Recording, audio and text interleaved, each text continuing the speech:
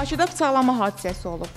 Unikalor xəbər verir ki, hadisə iyunun 29-u saat 21:30-da paytaxtın Qaraçuxur qəsəbəsində qeydə alınıb.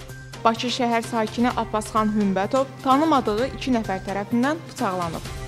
Bu barədə zərər çəkmiş özünü sosial şəbəkə hesabında paylaşım edib. O paylaşımda saçlarını mavi rəngə boyadığı üçün bıçaqlandığını iddia edib. Faktla bağlı araşdırma aparılır. Hazırda Türkiyədə yaşayan Nigar Qasımova adlı 25 yaşlı Azərbaycanlı qız cinsiyyət dəyişdirmə əməliyyatı etdirib. Unikalor xəbər verir ki, əməliyyatdan sonra adını və soyadını dəyişən Nigar indi Özgür Qasımov adlanır. Özgür hal-hazırda türk vətəndaşı olan xanımla nişanlanıb, toy etməyə hazırlaşır. Qeyd edək ki, Nigar ilk dəfə 1-ci sinifdə oxuyanda kişi hisslərinin olmasını hiss edib. Hətta onun ilk eşqi ibtidai sinif müəlliməsinə olub.